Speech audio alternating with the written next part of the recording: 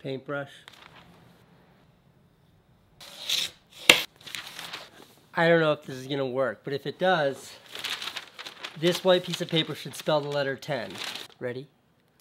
See the See, the lemon juice is supposed to burn at a higher, lower temperature than the rest of the paper, which in theory should make it act like a disappearing ink or something, but... Can you see it? Totally work. Look at that. Number 10, written in spy ink, also known as lemon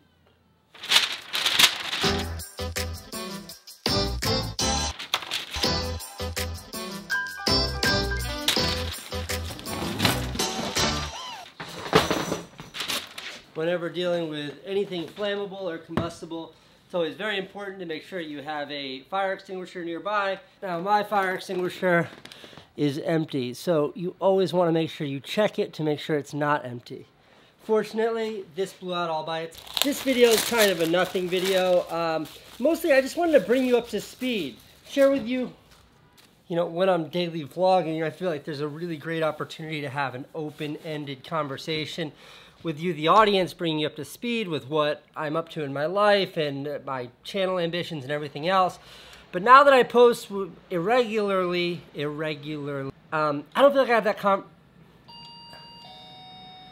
I don't feel like I have that opportunity. So uh, this is just like a, a good old-fashioned update video.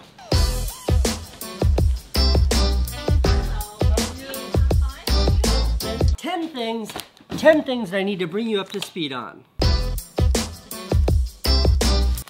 Number one, if you sent me a letter or maybe or maybe a package, a helmet or a futuristic fan, and you haven't received a thank you from me, please know that I am working on it. I just, I get a lot, which I appreciate, and it takes me a long time to get through all of these. You know, for what it's worth, a lot of my YouTuber friends told me that they've shut down their P.O. boxes and stuff because it just becomes too much of a hassle. I do not see it as a hassle. I love receiving packages and mail. I just, try to be realistic with update number two. I haven't shaved in about a week. I'm not one for facial hair, but I had a really good excuse. For all of the last week, I've been on this like, it was like a romantic, because it was Candice and me, but we had a bunch of our friends with us, but no children, no babies. We left them at home with Candice's parents, but on like this crazy, wild, romantic honeymoon-like vacation. We all went on a cruise through like the Caribbean and we stopped these islands and went for like hikes and then at night we uh like this is like that. Candice and I had been away in almost a year and a half without the kiddo. It was amazing. I didn't shoot any video about it, but it was such a wild experience. I feel like I have to make a movie about it somehow, so I might try to get all of like the cell phone clips that everybody took on that trip and turned it into a video. But yeah, I grew some facial hair and got this fantastic tan on my romantic holiday. I need you guys to count down from 10. Two, one!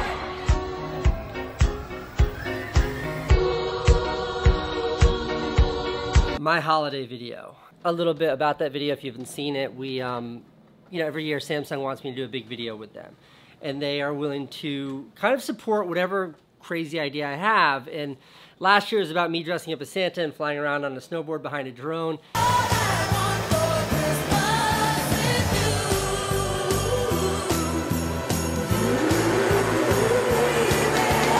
This year I want to do something that was much more about giving back.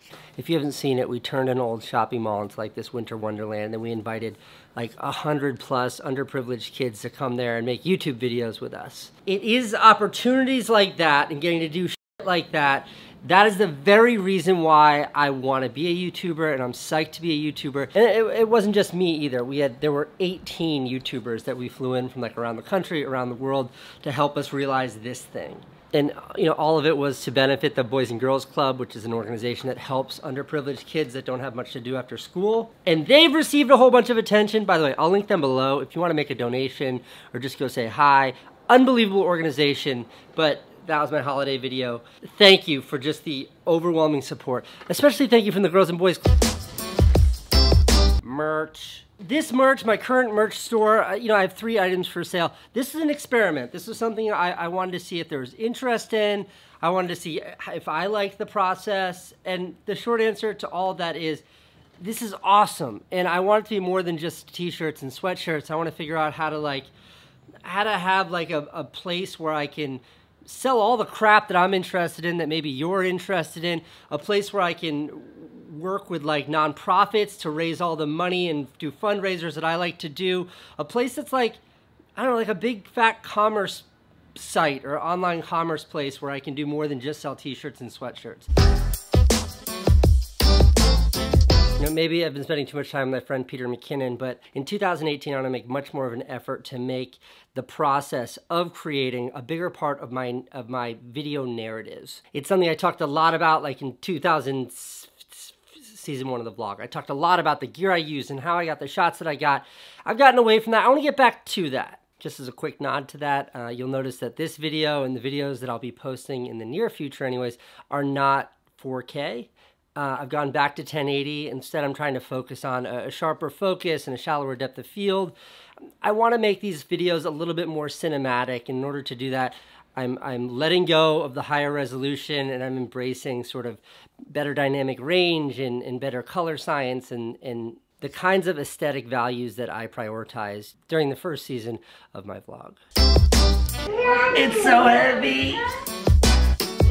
And that brings up one of the, the bigger questions that I ask myself, um, especially looking to the future, and that is, what is this channel? You know, a year ago at this time, I had just stopped vlogging. CNN just bought my company. I had no idea what 2017 might bring. Um, and 2017 for me was a bit of a scramble. Like, I, I, I wasn't sure where this channel fit in. I, I started vlogging again, but that didn't feel right. So then I just went to uploading with some consistency, but then I would see, it was a mess. And when I looked to 2018, I don't specifically know what I want to do, but I do know that regular uploads and having a very specific sort of narrative agenda behind this channel is going to be a priority of mine. I just think for my own well-being, like when I told myself the first season of the vlog was going to post a video every single day no matter what, that was such like good guidance for me. It was very helpful for me creatively. And I want to kind of give myself a, a mission like that for 2018 with this YouTube channel. This is Candice's Closet. The podcast. We're doing it. 100% guaranteed, positively, fully committed. We're doing the podcast. We just don't want to rush into it. We're going to do it in 2018 in January, a few weeks from now. But we needed to take this time to figure out how to do it, best practices, do we get a studio? Do we not get a studio? Sound quality, distribution methods, all those things we're figuring out right now, but we're doing it. The immediate future. So, like I said, I was on that romantic vacation for the last week. No vlogging for that, no making videos for that. I leave in two more days for another trip. This is a family trip. We're going to see Candice's family. It's like a big thing. I'll be gone for another like eight or 10 days or something. I want to try and not make videos while I'm there as well. I find taking these big breaks lets my brain clear up and it lets me enjoy my time with my family. But that doesn't mean I'm not going to upload. I have a couple of videos that I shot that have just been sitting on my hard drive from like the weeks past. I want to share those videos. And then I have one like ace in the hole, this video that I was working on like months and months and months ago and I finished and I was like, it's not good enough. And then we revisited it. Um, I'm to release, release that in the next couple of days. And that's a video I'm really excited about. That video is to be my new channel trailer. Okay, thank you to Po-Zoo for sending me these awesome Star Wars shoes. Check out my Teddy Fresh hat. God, Hila, this stuff is so good. All right, and my last thing on my list of things to update you with. Yeah, this is something I'm very excited about. Something I've been looking forward to sharing with you. Remember Juice Press, the juice place I used to come to in like every single episode? My buddy owns this place. Check this out. How's the hot sauce selling? Good? Where is it? Where? I've got my own Juice Press hot sauce. Have you tried it? Yes. What do you think? The chipotle and the jalapeno one? See, I, I, I want to figure out how to sell these in the merch store, but for now it's just kind of like a fun thing that I'm doing with the, with the owner of Juice Press, which is like a local New York City juice shop. Marcus is my homie. I'd do anything to support this place, but come on, they, they put my face on a hot sauce bottle. Also, I was paid for this in juice.